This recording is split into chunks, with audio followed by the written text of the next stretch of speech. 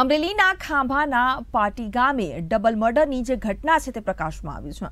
ત્યારે ખેડૂત માતા અને પુત્રની જે ઘાતકી હત્યા કરાઈ હતી અને ખેતીકામ કરતા ખેડૂત માતા પુત્રને વાડીમાં હત્યા કરવામાં આવી હતી. અપંગ માતાને ખાટલામાં હત્યા કરાઈ જ્યારે પુત્રનું ખુલ્લા ખેતરમાં ઢીમ ઢાળી દેવામાં આવ્યું હતું. ત્યારે ગળા અને માથાના ભાગે બોથડ પદાર્થ અને ઘાતક હથિયાર વડે વડે હત્યા કરવામાં આવી હતી. ત્યારે ગઈકાલની જે ડબલ મર્ડરની આ જે ઘટના છે તે આજે પ્રકાશમાં આવી હતી અને જે પોલીસ કાફલો છે તે ઘટના સ્થળ પર પહોંચ્યો હતો.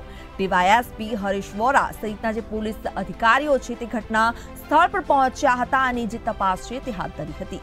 પંચાણું વર્ષના વૃદ્ધા અને સાહીઠ વર્ષના પુત્રની ઘાતકી હત્યાથી હાલ તો ગામમાં અરેરાટી વ્યાપી જવા પામ્યું છે. પોલીસે હત્યા કોણે કરી છે તે દિશામાં હાલ તપાસ શરૂ કરી છે.